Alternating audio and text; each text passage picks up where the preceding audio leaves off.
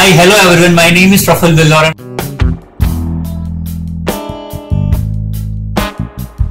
I'm the founder of MBA.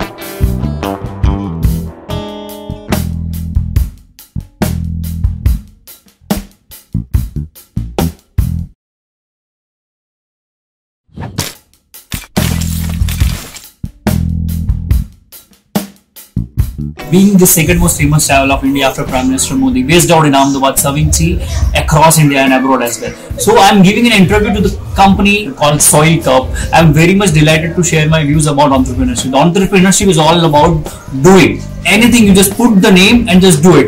Do it for next three to four years. Divide everything into couple of branches and do it like marketing, organizational behavior, HR, finance, and everything are part of your business. So do it the way you are doing and keep on doing. There is no secret of success. The way you do, the way you don't give up, the way you communicate with the people, the way you lead, the way you decide work and delegate work with your co-worker will decide the way you will be. So that's how things are. आइए कभी MBA Chawla. Thank you very much.